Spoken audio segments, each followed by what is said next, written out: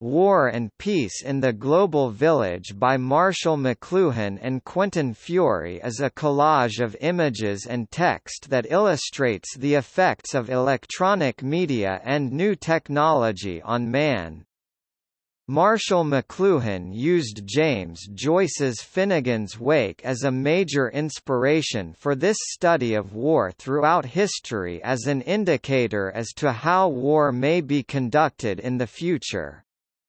First ed., Bantam, N.Y., reissued by Ginkgo Press, 2001 ISBN 1-58423-074-6 Joyce's wake is claimed to be a gigantic cryptogram which reveals a cyclic pattern for the whole history of man through its ten thunders. Each thunder Below is a 100-character portmanteau of other words to create a statement he likens to an effect that each technology has on the society into which it is introduced.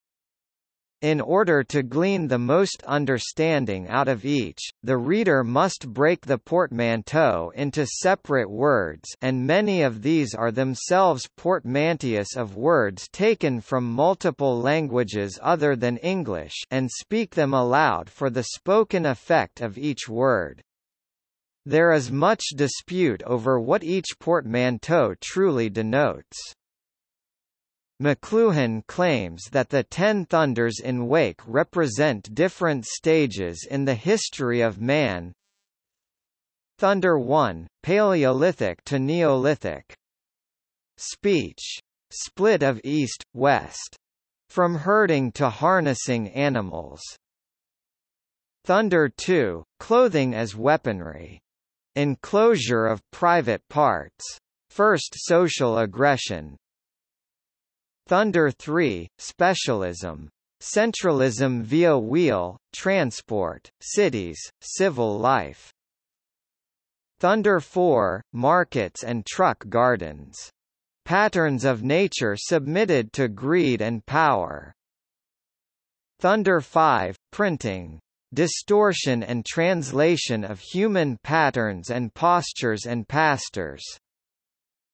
Thunder 6, Industrial Revolution. Extreme development of print process and individualism. Thunder 7, Tribal Man Again. All chore actors end up separate, private man. Return of choric. Thunder 8, Movies. Pop art, pop culture via tribal radio. Wedding of sight and sound. Thunder 9, car and plane. Both centralizing and decentralizing at once create cities in crisis. Speed and death. Thunder 10, television. Back to tribal involvement in tribal mood mud.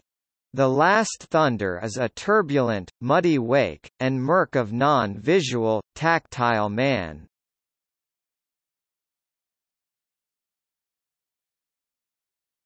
Topic. Notes